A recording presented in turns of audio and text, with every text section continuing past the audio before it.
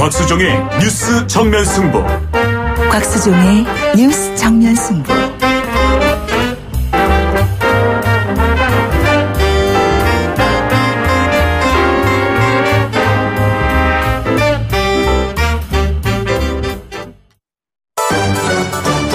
김작이 묻고 곽박이 경제로 답한다.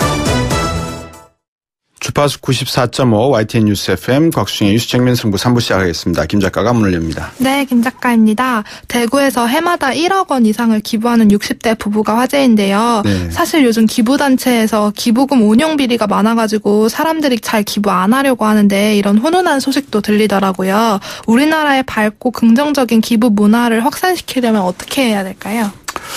글쎄요, 참 이 중요한 질문인데 답이 별로 뾰족한 게 없네요. 어, 사실 이제 기부라고 하는 것은 어, 자기의 그 가지고 있는 재산을 잘 운영하기 위한 하나의 수단으로서 하는 기부가 있을 거고 아니면 사회적인 어떤 변화, 가치의 변화, 의식 구조의 변화를 위해서 어, 하는 기부도 있을 거고 한 뒤에 거는 이제 뭐 변화적 기부다 이렇게 이름을 지을까요? 그러면 이제 어, 김 작가가 방금 이야기한 것은 아마 후자의 입장에서 기부를 많이 하면 좋을 것 같은데 어떻게 하면은 기부를 많이 할 수 있겠는가 아마 그 질문인 것 같아요. 근데 이건 어릴 때부터 교육의 문제인 것 같고요. 사회 전반의 에, 가치관의 문제인 것 같아요. 지난 시간에 박상병 교수가 우리 국민들의 의식 수준을 이야기했잖아요.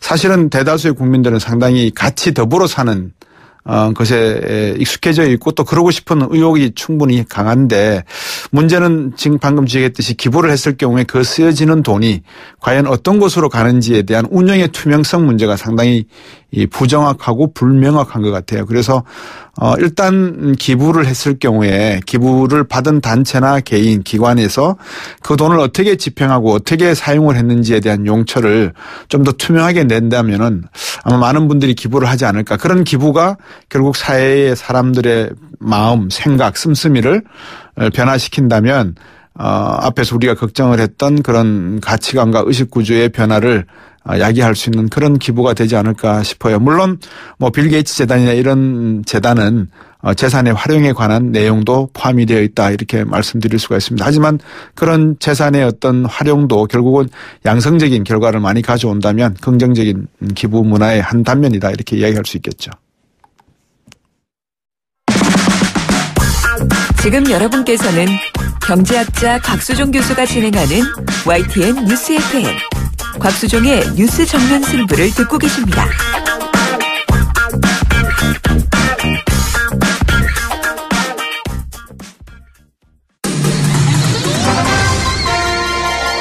정면 스포츠 스포츠.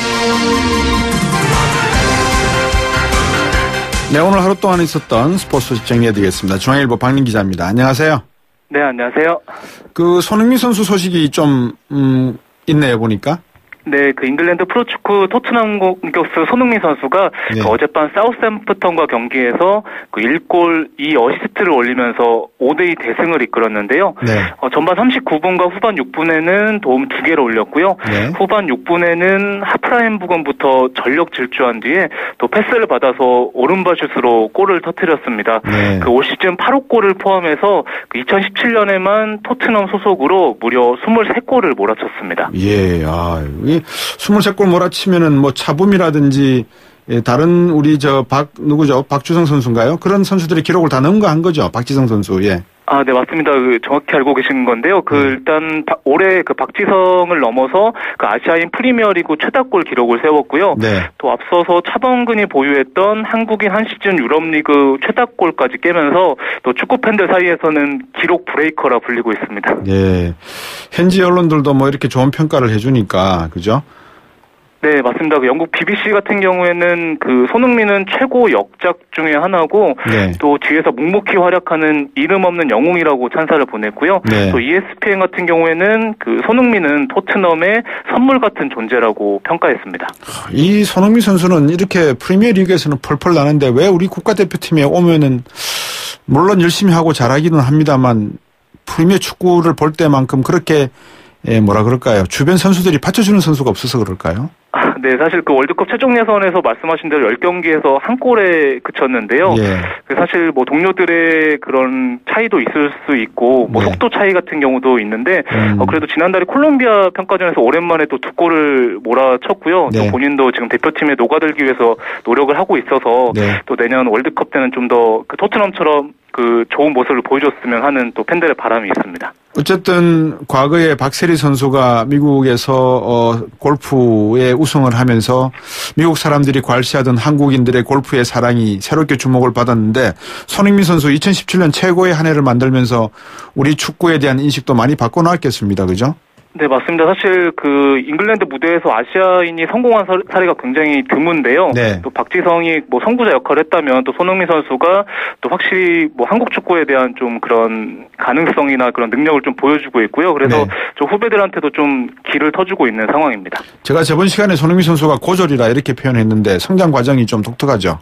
네, 맞습니다. 그 아버지 손흥정 씨는 축구 선수 출신인데요. 네. 좀 일찍 은퇴하고 고향 춘천으로 낙향을 했습니다. 좀 아들을 독특한 방식으로 가르쳤는데요. 네. 또 16살 때까지 정식 경기에 안 내보냈고요.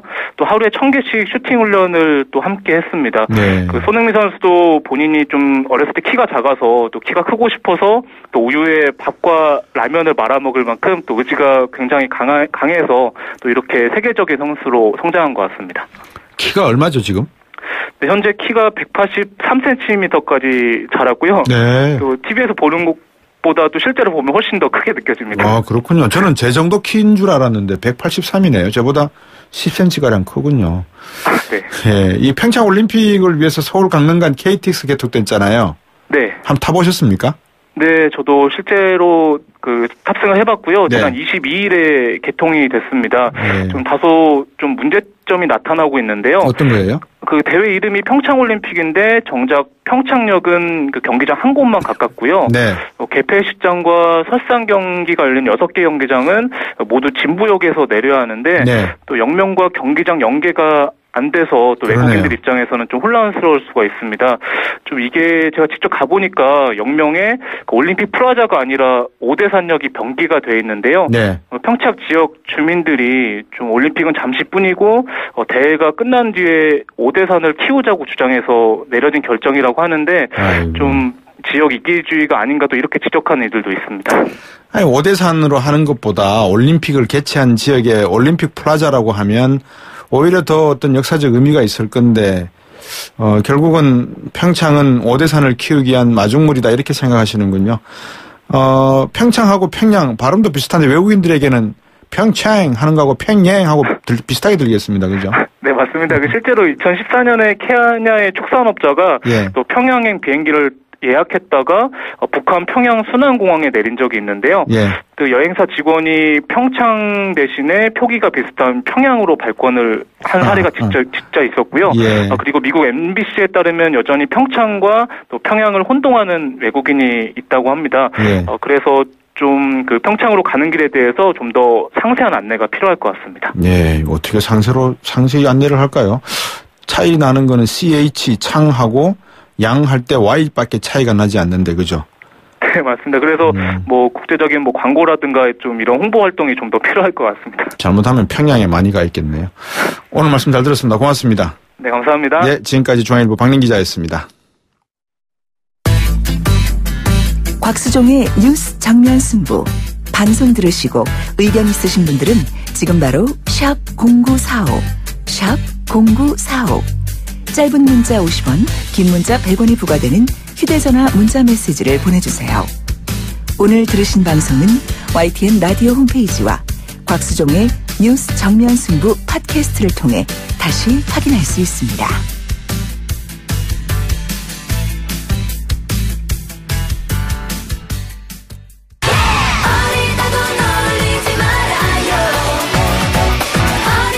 주간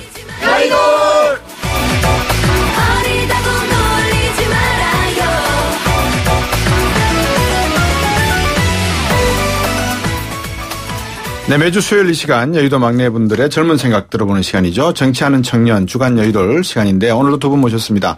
더불어민주당 전 어, 전국 청년위 장경태 수석 부위원장 안녕하세요. 네, 안녕하세요. 바른정당의 이준석 노원병 당협위원장입니다. 안녕하세요. 네, 안녕하세요. 청년 그러면 남성 여성이 다 포함이 되나요? 남성을 의미하나요?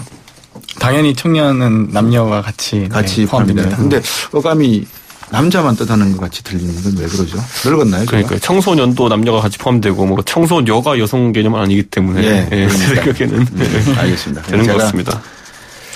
한번 여쭤봤습니다. 2017년 이제 한 나흘 정도 남았는데 한 해를 좀 마무리할 것 같아요. 이제 달력도 정말 한장 남았고 저희 음. 집에 달력이 안 들어와요. 요즘 달력도 안 들어올 정도로 경기가 음. 안 좋은 건지 아니면은 제가 안 다녀서 달력을 못 받은 건지는 모르겠는데. 스마트폰을 다 들고 다니니까 이제 달력이 옛날만큼 볼 일이 아, 적어진 것이 그렇군요. 아닐까. 그래도 벽에는 한 개 정도 걸려 있는 게 좋을 것 같은데. 저희 집엔 시계도 안 걸려 있습니다 지금. 아마도 안 다니셔서 그런 것 같고요. 저만 해도 구글 캘린더 사용하거든요. 아마 예. 대부분 다 핸드폰 캘린더 사실 음. 사용하실 것 같아요. 연세 있는 분들은 그래도 달력에 음 력까지 있어야지만 연세 있는 분들은 그 달력 말고 그거 있지 않습니까? 인력. 인력. 하루, 에 하나씩 뜯는 거. 예, 한약방에서 주는 거. 예, 그거 예. 드시는 분들도 아직 있죠. 아직 예. 있죠.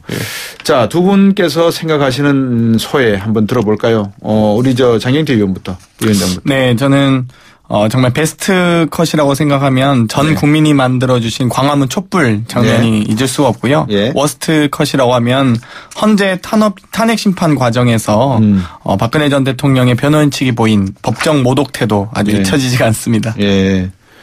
우리 이준석. 올해 저한테는 뭐 베스트 컷이라고 할 만한 건 딱히 없었던 것 같고요. 예. worst 컷 하면 저는 2차에 걸쳐가지고 그 바른정당에서 뛰쳐나가시던 분들의 그 마지막 말씀들이 기억에 남습니다. 네. 뭐 명분은 거대했으나 실제 지금 몇 달 지난 뒤에 보면은 그 목표들을 실천하지 못하신 것 같아요. 예. 어, 두 분께서 말씀하시는 거를 듣고 보니까, 아, 저의 베스트 컷, 제가 생각하는 올해 베스트 컷은 무엇일까? 역시 촛불을 이야기 안 할 수 없을 것 같고요.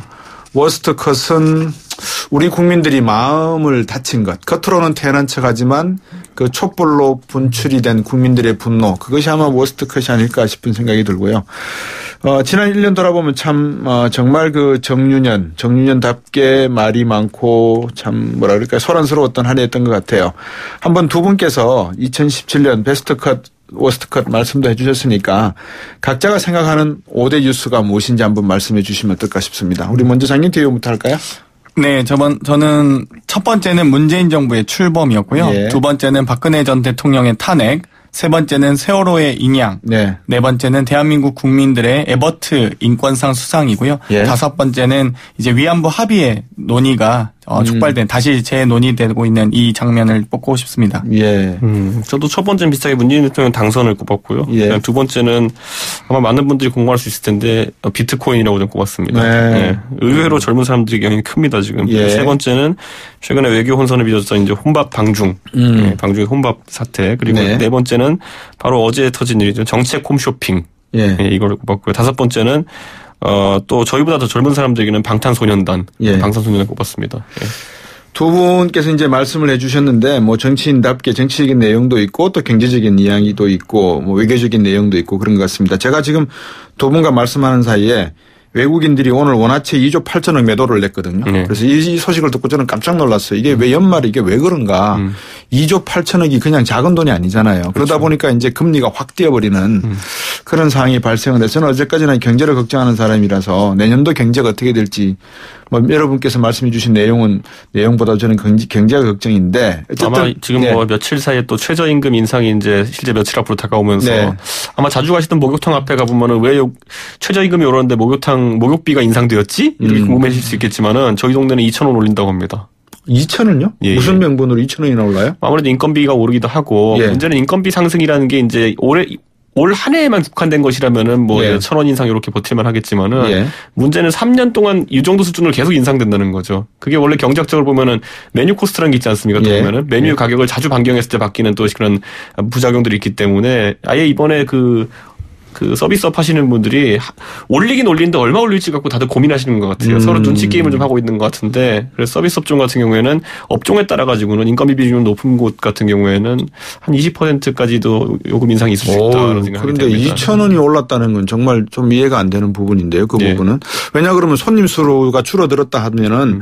손님 수 줄어든 것까지 다 보전을 하시겠다는 생각이신 것 같아요. 실제로 그런 정도까지 이- 고려하지 않으면은 이제 단순히 지금은 산술 계산으로 이제 아마 하신 거겠죠. 지금 음. 보면은 인건비 인상분과 또 손님 감소분 다 계산했을 텐데. 아이고 참. 그래도 그래도 그렇게 안 하면 지금 인건비 오히려 사람을 줄여야 되는 판이다라는 생각 때문에 예. 뭐 업주분들이 고민이 많을 겁니다. 사람을 줄여야 되는 것이냐, 뭐 기계로 좀 대체를 해야 되는 것이냐, 아니면은 요금 인상을 해야 되는 것이냐.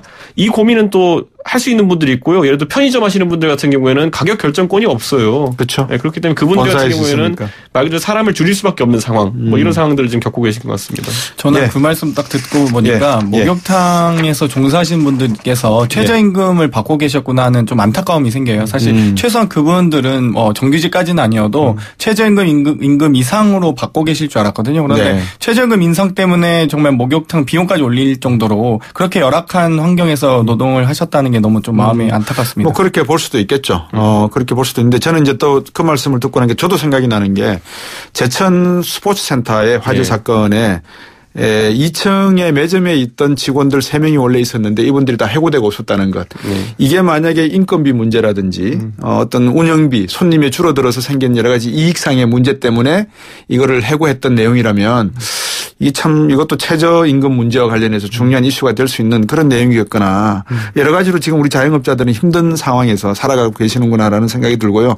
정치가 어쨌든 간에 이분들의 고민을 좀 한숨을 들어주셨으면 하는 저는 생각이 결국 들어요. 그래서 이번에 최저임금 원래 안에서 약간 후퇴해가지고 이제 네. 뭐 조정을 하고 있습니다. 뭐 예를 들어 사- 뭐 고정 상여금 같은 경우에는 포함시키기로 하고 뭐 네. 이런 것들 봤을 때 실제 공약했던 인상분보다는 좀 적을 것이다. 음. 첫째로는 그리고 두 번째는 뭐냐면 그렇게 하게 된 결정적 계기는 뭐냐면은 도저히 감내가 안 된다는 것이 이제 사회적으로 증명이 되고 있기 때문에 공약을 음. 일부 좀 거둬들인 것일 텐데 문제는 내년 내후년에도 비슷한 수준의 인상을 공약해놨단 말이에요. 네. 지금부터 좀 그런 충격 완화를 위해 가지고 정책 개발을 해야 되지 않을까 싶습니다. 그런 점은 예를 들어서 정부가 현장을 보고 어, 새로운 정책의 변화, 전환을 이루게 되면 그 거는 비판의 대상은 물론 그런 의미에서 네. 말씀하신 건 아닌데 네. 얼마든지 전략적으로 바꿀 수 있도록 국민들은 이해를 해 주셔야 될 것 같아요. 예, 뭐 그런 부분은 충분히 현장을 반영해야 되니까 자 경제 이야기는 그 정도로 하고 두 분이 말씀해 주신 다섯 가지 이슈를 놓고 공통된 이슈부터 한번 짚어볼까 합니다.